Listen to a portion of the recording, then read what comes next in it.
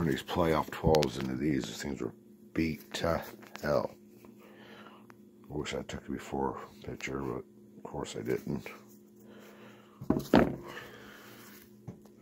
Something different though. Let me know what you all think of these boys. Paid ten dollars for these shoes before I started them. They look like something now. Kicking myself in the ass I didn't get a before picture. Had a little little trinkets to it to set them off, but yeah.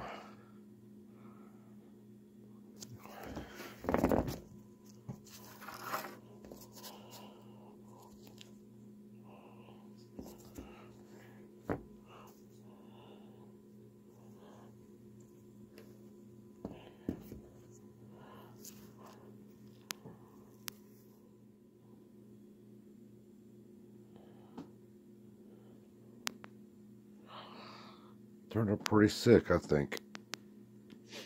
Give me a thumbs up if you think the same. Thumbs down if you hate them. respect your opinion. Later.